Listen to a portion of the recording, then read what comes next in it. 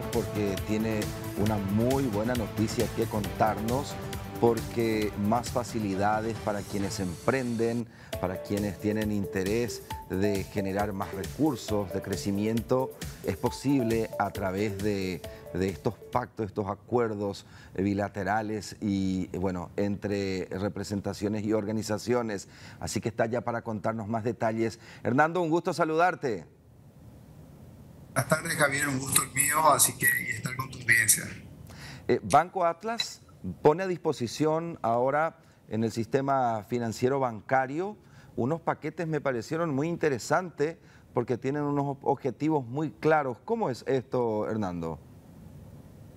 Correcto, eh, Javier. Sí, eh, recientemente hemos firmado un acuerdo, la verdad que eh, un acuerdo muy interesante, no solamente para el Banco Atlas, sino que también para el país, que consiste en un financiamiento que nos da la Corporación Financiera Internacional, que es del grupo del Banco Mundial, eh, con un foco básicamente en empresas pymes, empresas pequeñas y medianas, eh, donde a su vez, digamos, le da una orientación muy fuerte a empresas pymes que sean o lideradas o propiedad de o que sean gestionadas por las mujeres. Así que eh, con esta línea de crédito, que es una línea de 50 millones de dólares, un préstamo, el objetivo del Banco Atlas es poder, digamos, eh, complementar a su cartera, tanto de clientes eh, de este segmento, eh, unas posibilidades realmente de, apoyo y crecimiento, con un foco importante en lo que es el, digamos, la desigualdad que existen actualmente en términos de del acceso que disponen las mujeres, sobre todo las mujeres microempresarias o las empresarias propiamente.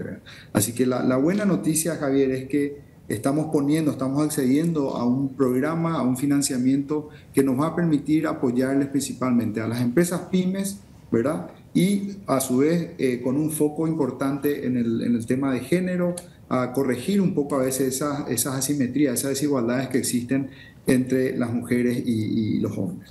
En estos días, Iván Ojeda, director del Instituto Nacional de Estadísticas, Hernando, nos compartía de vuelta algunos datos recientes de que sí existe todavía una brecha que debe ser superada entre eh, el acceso a la educación entre hombres y mujeres. Aparentemente, bueno, estamos bien, pero las mujeres deben hacer mayor esfuerzo para alcanzar un nivel de educación y posteriormente de conseguir una paga, bueno, justa, pero equitativa, equilibrada, sin que efectivamente haya diferencias. Actualmente los hombres están ganando más que las mujeres, aún así teniendo el mismo, eh, las mismas funciones, responsabilidades, o también podemos decir ocupando los mismos puestos, Hernando.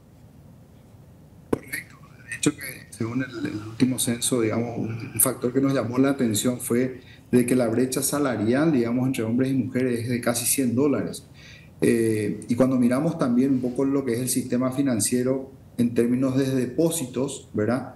Eh, vemos que, que, los hombres, digamos, eh, poseen un saldo promedio en sus cuentas, ¿verdad? De 1.800 dólares versus las mujeres de, de 1.200 dólares. Es decir, existe una, una reducción en, esos, en esas estadísticas donde nos dicen de que las mujeres tienen menos ya sea oportunidades, porque esto nace a partir de, menores oportunidades, por ende, para tener mejores disponibilidades eh, y ahorros en, los bancos.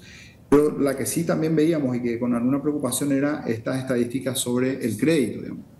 Sabemos que en, en términos de crédito, eh, solamente el 43% de las mujeres acceden, del total de la cartera de crédito, acceden a, a este financiamiento y eh, cuando vemos los saldos promedios, los montos promedios de crédito, vemos que las mujeres están en torno a 1.200 dólares, mientras que el, promedio de crédito para los hombres es casi 2.500 dólares.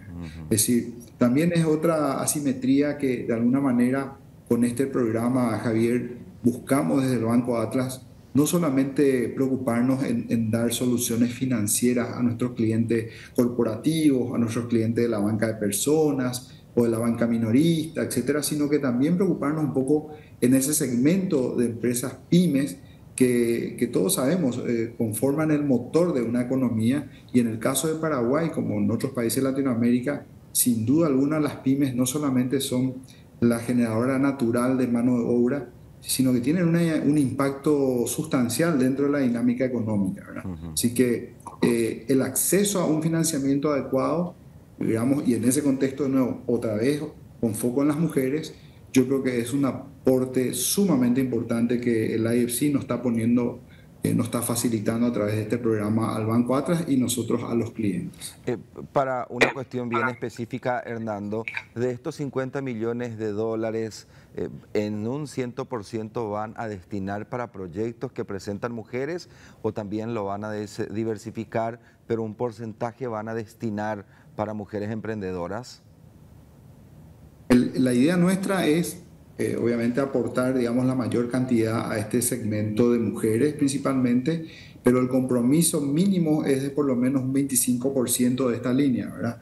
Pero yo creo que estamos en nuestras estimaciones por lo menos entre 40 y 45% es lo que estaríamos destinando, porque ya hicimos también eh, análisis, digamos, preliminares con nuestro equipo de, de, digamos, de todo lo que tiene que ver inteligencia de negocio, y nos daba que realmente había un segmento y un mercado muy atractivo, que no está muy bien atendido. Y no estamos hablando solamente de las mujeres microempresarias, estamos hablando de empresas, de mujeres emprendedoras, que ya tienen una, un, negocio, digamos, eh, formal, bien constituido, pero de repente necesitan ese apoyo para seguir creciendo, seguir expandiendo ese negocio. Entonces, la idea con este programa es realmente eh, que esas empresas puedan despegar, que esas empresas de mujeres lideradas, propiedad o gestionadas por mujeres, que tenemos muchísimos casos de éxito, puedan realmente despegar, puedan realmente despegar y, y, por qué no el día en, en, tres, cuatro años podamos atenderle ya en el segmento de lo que llamamos la banca corporativa. Eh, ¿Esto en cuánto tiempo se pone en vigencia? Ya el Banco Atlas tiene todo el paquete para promocionar, para salir al mercado. Hernando, eh, y en ese contexto preguntarte, eh, ¿qué tienen que demostrar las mujeres? ¿Cuál es la tasa de interés? ¿Esos datos ya existen o a partir de ahora van a comenzar a trabajar en ello? Bueno, nosotros ya tenemos esto disponible totalmente, 100% operativo para nuestros clientes y para los que no son clientes y desean ser clientes del banco.